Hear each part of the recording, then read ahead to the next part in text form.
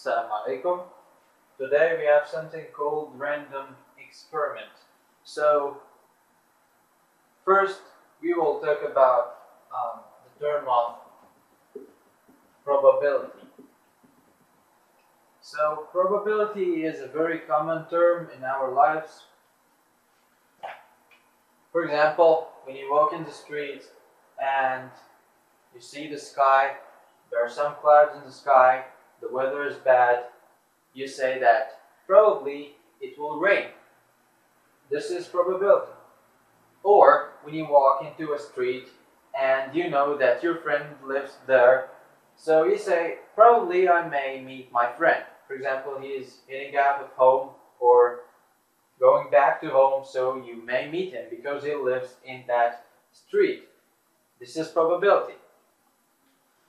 So, in order to express this probability, you see something and then you build some results.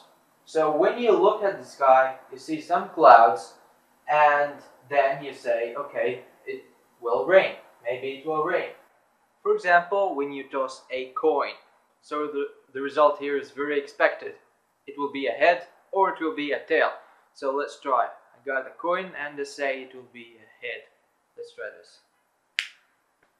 Head. Yes! Yes, head. So the random experiment is as simple as that. It's nothing like a chemistry experiment with a lot of stuff and explosions and things like that. Just an experiment in your daily life that you can expect the results.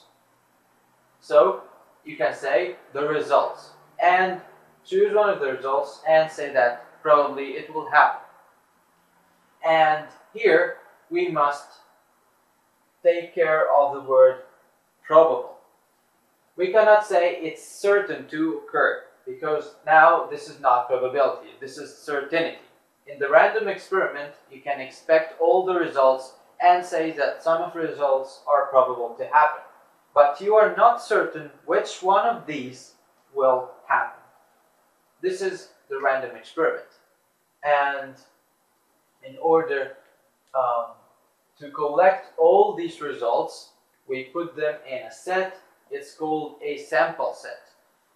So that's what we'll talk about in the next time. And until then, thank you for watching and see you. Alaikum.